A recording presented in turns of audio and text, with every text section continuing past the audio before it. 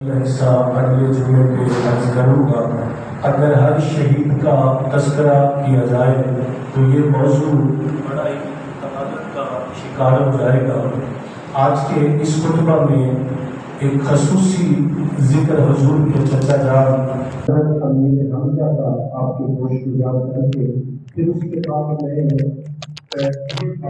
समझाने की कोशिश करूँगा के नाम ये हुई जंग हार ये जीती हुई जंग हार क्यों गई जब गजवा शुरू हुआ तो इस्लाम को अल्लाह ताला ने फतह अता फरमाई और फिर वो यकीनी जो फतह थी वो जो है फिर शिकस्त में बदल गई तो इसकी वजह क्या है और अगर वो वजह हमें समझ आ गई तो इस वक्त जो मुसलमानों की नाकामी की वजह है तो वो वही है जो गजवा में जो है सामने आई थी, अगर हम उसको आज भी दूर कर ले तो अल्लाह के कुरान का ये ऐलान है, फैसला है कि जो बंदा रसूलुल्लाह की इतात गुजारी में आ जाता है, रसूल की पैरवी में आ जाता है, रब का एक बार नहीं, कई बार वादा है कि वो दुनिया में भी कामयाब है और मरने के बाद भी कामयाब है। तो इसलिए हम दूसरे पॉइंट में जो है, इस वजह को समझने की कोशिश करेंगे। तो आका करीम वसल्लम के प्यारे चचा हज़रत अमीर हमजा रज़ी अल्लाह ये हजूर के इंतहाई महबूब तरीन चचा थे और चचा भतीजे का आपस में बेहद प्यार था। इतना प्यार था कि भतीजा अपने चचा की कोई बात नहीं मोड़ता था और चचा अपने भतीजे की कोई बात नहीं मोड़ता था, बल्कि आप हैरान होंगे बहुत सारे बुजुर्गान दीन औलियाए किराम, वो मदीना शरीफ में हाजिरी का जो तरीका बताते हैं ना कि जब तुम मदीने जाओ और तुम चाहते हो कि अल्लाह के नबी तुम्हारी हर सदा को सुने और तुम्हारी हर आरज़ू को पूरा करें तो हुजूर के दर पे आने से पहले हज़रत अमीर हमजा के दरबार पे जाया करो और वहाँ पे जाके सफारिश डलवाया करो। कि आए हजूर के चचा हमजा? हम तेरे भतीजे के पास जा रहे हैं, हमारे जाने से पहले हमारी सफारिश कर देना। तो जो साहिब मार्फत है ना लोग, जो दिल की आँख रखते हैं, वो जब मदीने जाते हैं तो वो हजूर के दर पे पहले नहीं जाते, पहले हज़रत अमीर हमजा के दर पे जाते हैं। और वहाँ से फिर आते हैं हजूर के दर अकदस पे वहाँ से सफारिश करवा आते हैं और जब यहाँ पहुँचते हैं तो इनके पहुँचने से पहले वो सफारिश पहले पहुँची बड़ी होती है। सफारिश पहले पहुँची बड़ी होती है। तो अल्लाह के नबी ने ना अपनी ज़िंदगी में अपने चचा की बात को टाला है, और अगर आज भी उस शहीद की सफारिश हजूर की बारगाह में आ जाए तो जानने वाला अपनी आरज़ू बाद में करता है, और हज़रत अमीर हमजा की सफारिश से रसूलुल्लाह उसकी दुआ को पहले कबूल फरमा लेते हैं। ठीक है? तो ये बेहद प्यार था चचा भतीजा के दरमियान। तो आका करीम वसल्लम के ये चचा अमीर हमजा, ये भी शोहदाए ओहद में ही शामिल है और आपको बड़ी बेदर्दी से जो है वो शहीद किया गया।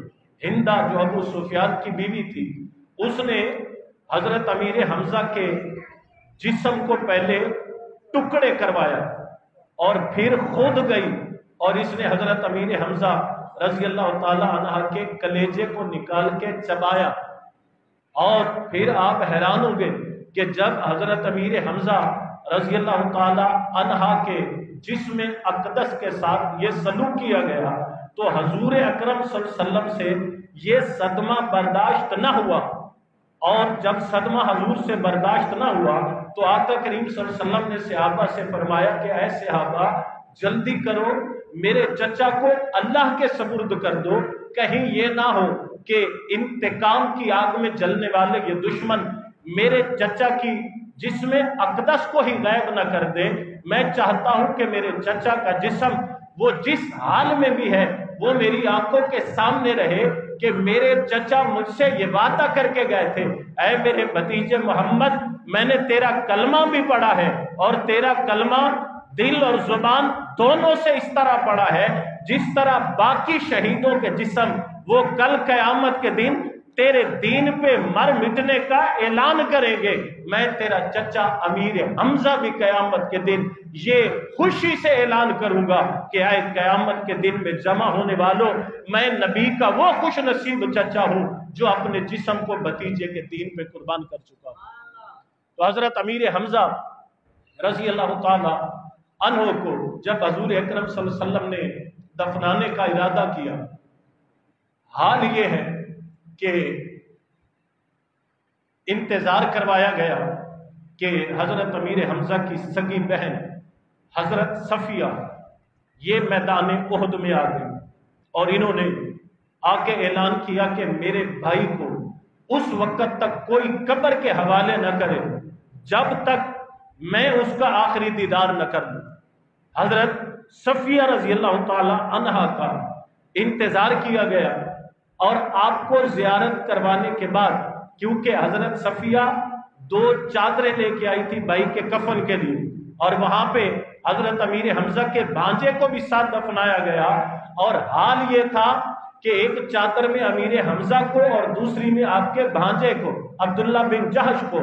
और जब हज़रत अमीर हमजा पे ये चादर डाली गई तो आप इतने लंबे कद के थे कि चादर सर पे डालते तो पाँव नंगे हो जाते। और पाँव पे डालते तो सर नंगा हो जाता। फिर हजूर अकरम वसल्लम ने मदीना तैयबा की अजखर नामी एक बूटी को उखेड़ा और हजूर ने वो हज़रत अमीर हमजा के कदमों पे रखा और कहा, इस बूटी के पत्तों के साथ मेरे चचा के कदमों को डांप पे दफना दिया जाए। और बाद रिवायात में यह है कि ये जो मरियम बूटी लेके आते हैं हुजाज कराम मदीना से, ये वो बूटी है जो हज़रत अमीर हमजा के कदमों की बरकत से मदीना की सरजमी पे उगती है। आ मेरा दोस्त जरा तवज्जो दनाल समात कर मेरे पाक नबी दे चचा हज़रत अमीर हमजा रज़ी अल्लाह तआला अन्हु दे। जिदो कफन ते दफन दी तैयारियाँ हुई ने, आका करीम ने फरमाया, अमीर हमजा दी हमशीराम, हज़रत सैयद सफिया दीदार करन दे वास्ते आ रही है। कोशिश करो कि हज़रत सफिया इन्होंने करीब ना आन दो इस वास्ते कि हज़रत सफिया ने अगर अपने वीर की हालत नु वेख लिया, मैनू मालूम है कि उदे को बर्दाश्त नहीं होना। इस वास्ते के जनाब वीर ते बहन दे बड़े नाजुक रिश्ते होंदे ने। मैं जानता कि बड़े नरम दिन की सफिया है।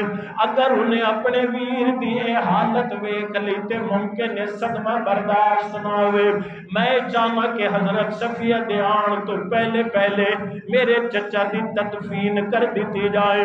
लेकिन जो हज़रत सफिया मालूम होया, आप हथ जोड़ के अर्ज़ कर दिए ने या रसूल अल्लाह या हबीब अल्लाह मैं थाडे नाल वादा कर दिया कि मेरा वीर थाडे दीन दी सर बुलंदी दे वास्ते जिस सबर दा जाम पी के अल्लाह दी बारगाह दे अंदर हाजिर होया है, या रसूल अल्लाह मैं वादा कर दिया अपने वीर के उत्ते पानी नहीं फेरांगी बल्कि अपने वीर के सबर की खैरात लैके मैं भी रब की बारगाह के अंदर साबरा बन जावा हज़रत सफिया रज़ी अल्लाह तआला का करीम सल्लल्लाहु तआला अलैहि वसल्लम दे नाल वादा कर दे ने या रसूल अल्लाह मैं सबर करांगी, मेरे पाक नबी ने फरमाया, सफिया, वेख ला मेरे नाल जेड़ा तू वादा पई कर दिए आखिरी दम तक इस वादे दी पहरादारी करनी है। इस वास्ते के मेरे पाक नबी रिश्ते दी नजाकत नु जानदे ने। मेरे पाक नबी जनाब वीर ते बहन दी मोहब्बत नु जानदे ने। हज़रत मियाँ साहब आपने भी इस वास्ते कमाल तर्जमा फरमाया फरमा देने के वीर मरण के। टुट दिया बाबा।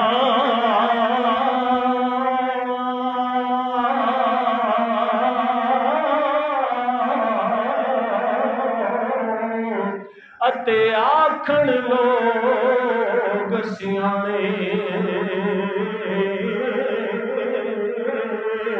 वीरा बाज मोहम्मद बख्शा। इथे दूजा कौन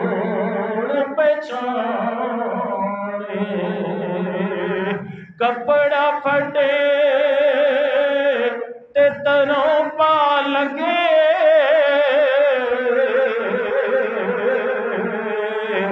फटे, दिल की सीना सजना मोहम्मद की मरना की जीना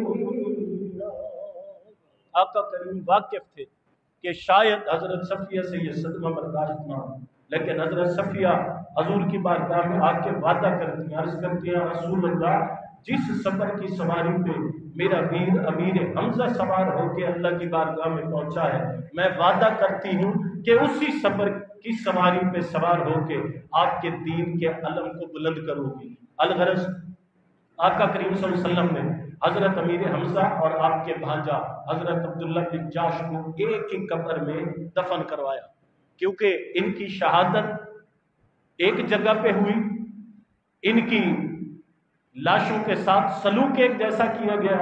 आका करीम वसल्लम ने फिर अंसाफ और अदल का तराजू यूँ कैम किया कि दोनों को एक तरह का कफन पहनाया, दोनों को एक ही कब्र में दफनाया और फिर यह हदीस मुबारक है कि जो शख्स जिस हाल में कब्र में पहुँचता है कयामत के दिन अल्लाह ताला उसको उसी हाल में खड़ा करेगा।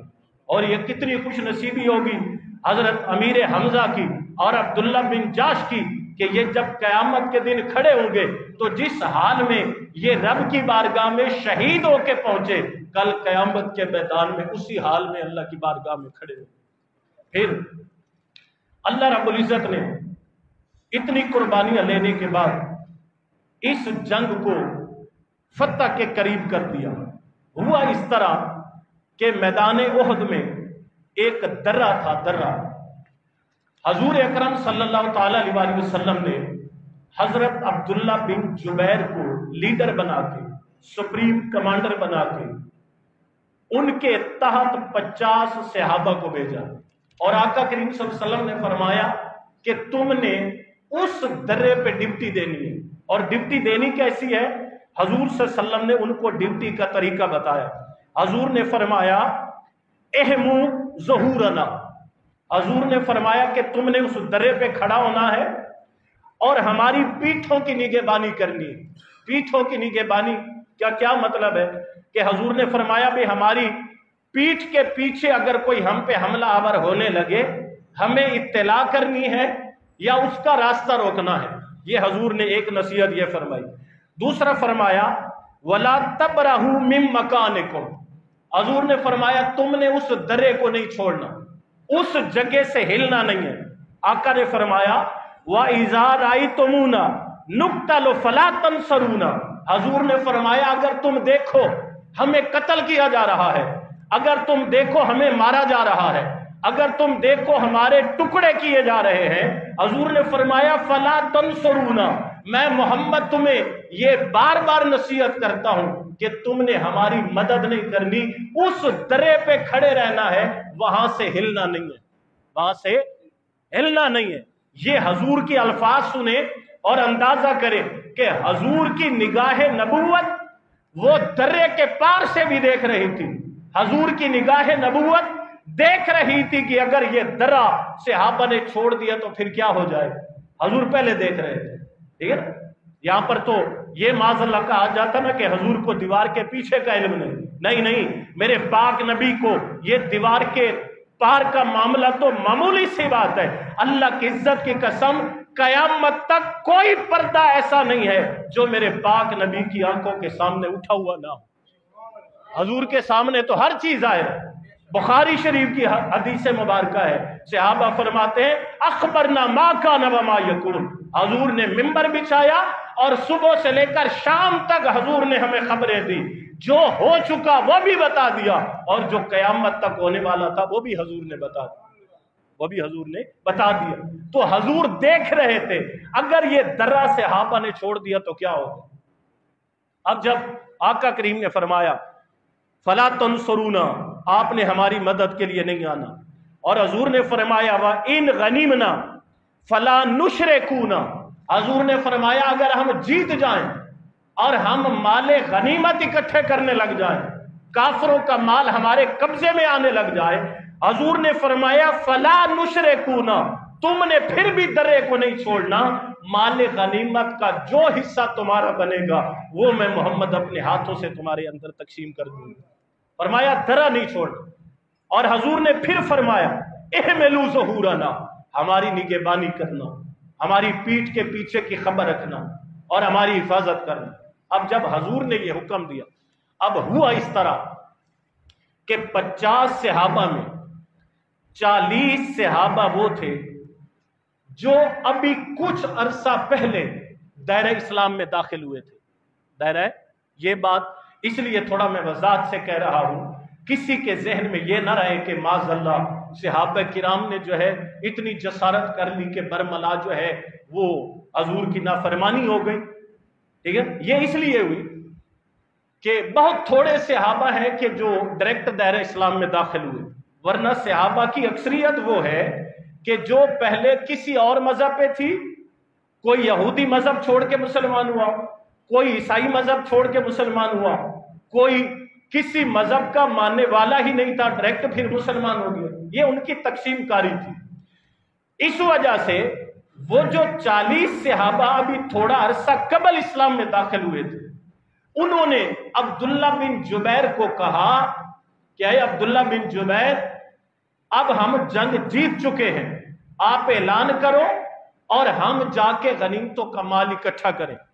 हज़रत अब्दुल्ला बिन जुबैर ने फरमाया क्या तुमने मेरे प्यारे नबी का ऐलान वाजे नहीं सुना? हजूर ने फरमाया कि तुमने वहाँ से हिलना नहीं है।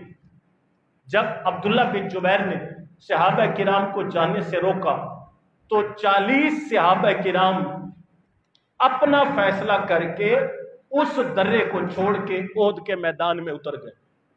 दस सहाबा किराम, दस सहाबा किराम, वो हज़रत अब्दुल्ला बिन जुबैर के साथ रहे। चालीस सहाबा वादी में चले गए। अब जब चालीस सहाबा वादी में गए तो अल्लाह ताला ने कयामत तक असूल और कानून बनाने के लिए वो जीती हुई जंग हार में बदल दी, ताकि कयामत तक के मुसलमानों को पता चले। अगर 40 लोग रसूलुल्लाह के हुक्म की खिलाफ वर्जी करते हैं, अगर वो जीत जी जाएँ तो मैं रब फिर भी उनको हरा देता हूँ। ताकि पता चले कि रसूल की फर्मा बरदारी करना, रसूल की इतात करना कितना ज़रूरी है कि अगर तुम रसूल की नाफरमानी कर लो तो फिर मैं रब तुम्हें जीती हुई जंग भी हरा देता हूँ। तो इसलिए अल्लाह ने फिर कयामत तक ये मिसाल बना दी कि देखा तुमने, चालीस से आबा ने रसूल के हुक्म से हटकर अपना फैसला आगे किया तो अल्लाह ने जीती हुई जंग हरा दी। और यहाँ हमारी सूरत हाल ये है ये तो जंग की हालत है। एक हुक्म की बात है यहाँ पे 24 करोड़ आबादी में से 22 करोड़ वो होंगे कि जो अल्लाह के फर्जों को पीट करके बैठे हैं, जो अल्लाह के वाजबों को पीट करके बैठे हैं, जो सुबह शाम रसूलुल्लाह की नाफरमानी करते करते एहसास तक नहीं करते कि हम कर क्या रहे हैं तो फिर ऐसे हालात में जहाँ चालीस बंदा रसूल की बात को ना माने, अल्लाह जीती जंग हरा देता है तो जहाँ बाईस करोड़ अल्लाह रसूल की नाफरमानी कर रहे हो, आप क्या समझते हैं वहाँ पे मनो सलवा उतरा करें? आप क्या समझते हैं कि वहाँ पे हाथ उठाएँ और दुआ कबूल हो जाए? आप क्या समझते हैं कि वहाँ पे अफर तफरी ना हो? क्या समझते हैं वहाँ पे अमन की भाषा आए? क्या समझते हैं कि वहाँ पे जो है इतमान और सकून की कैफियत हो? नहीं नहीं। अगर चालीस एक बात में रसूल की बात से हटते हैं तो अल्लाह उनको फितने में मुब्तला कर देता है।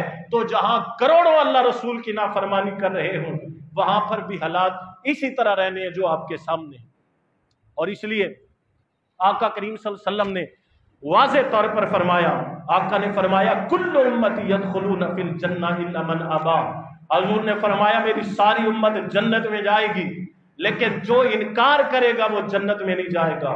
कालू मनाबा या रसूल अल्लाह सिहाबा ने अर्ज़ किया, या रसूल अल्लाह आपका इनकार कौन करेगा?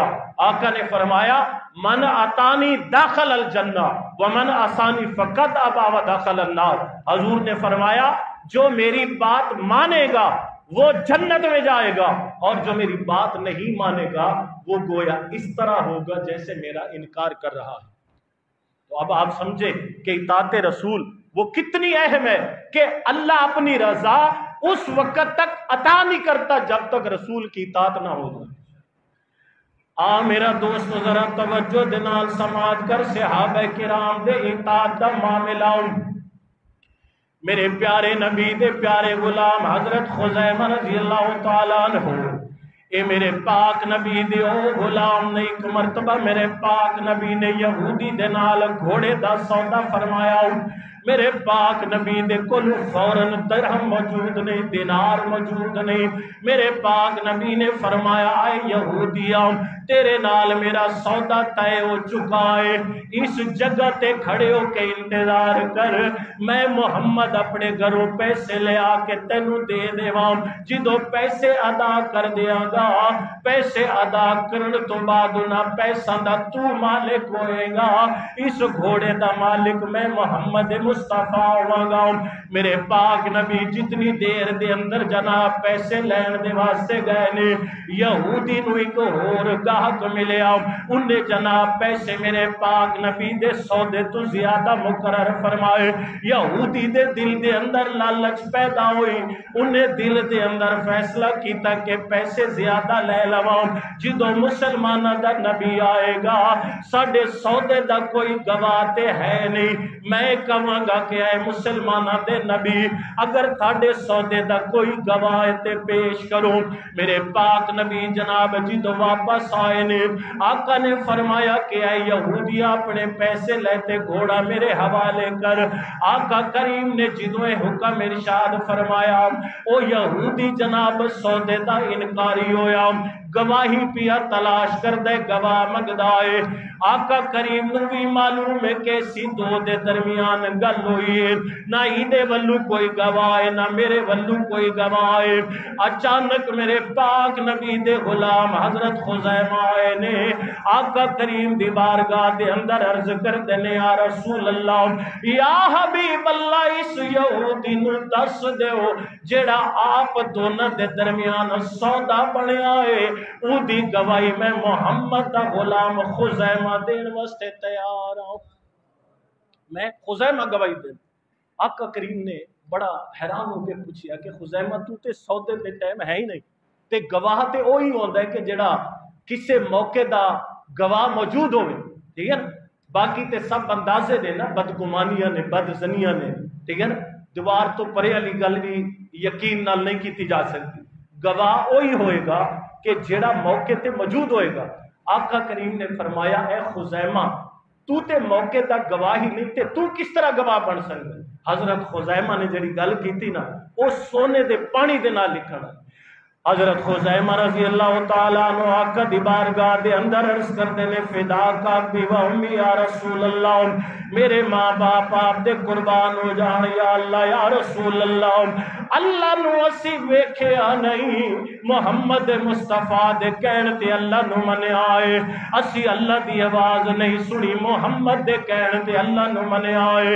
या रसूल अल्लाह काबा अल्लाह दा घर है, सानू नहीं पता अल्लाह दा घर है है कि नहीं? है मोहम्मद मुस्तफ़ा ने दसिया ते असी मन लिया। या रसूल अल्लाह तुसी दसिया कि कुरान अल्लाह दी किताब असी मन लिया। या रसूल अल्लाह तुसी दसिया जन्नत असी मन लिया। या रसूल अल्लाह तुसी दसिया दोजख है असी जनाब आमन्ना व सदक ना कह दिता। या रसूल अल्लाह या हबीब अल्लाह जिदो आप दे कहण दे उत्ते रब नु वेखे बगैर मन लिया है मैं गवाही गवाही देना के, सौदे दे अंदर भी मोहम्मद मुस्तफ़ा सच्चा मैं थाडे कहने ते रब नु मन लिया, जन्नत ते दोजख नु मन लिया, ते सौदा ते मामूली चीज़ ठीक है ना? मेरा ईमान ते मेरी इताते रसूल मेरे को तकाजा कर रही है कि इत्थे मैं गवाही देवा ते अपने प्यारे नबी नु, जेड़ा है ही सच्चा ओदी सच्चाई दे वास्ते दुनिया दे अंदर दलील कायम कर। आका करीम ने जो खुजैमा की गल सुनी ना, आका ने फिर ये नहीं फरमाया कि नहीं नहीं, इस तरह नहीं मामला। आका ने फरमाया, या खुजैमा, अंत सदकता। ऐ खुजैमा, तू सच के आई कि मैं मोहम्मद मुस्तफ़ा इस सौदे के अंदर सच्चा वा और तू इताते रसूल, मोहब्बत रसूल और इश्क रसूल दा। ये जड़ा इजहार किया मैं मोहम्मद तेरी सच्चाई दी दावत दे के जाना। और आका करीम ने तस्दीक फरमाई। इस वास्ते कि तेरे ते मेरे पाक नबी दी ये शान कि वमा यंते को अनिल हवा। इन हुवा इल्ला वायु यूहा। हजूर दी ज़ुबान दे विचों सिवाय रब दे कलाम दे होर कुछ आंदा ही नहीं।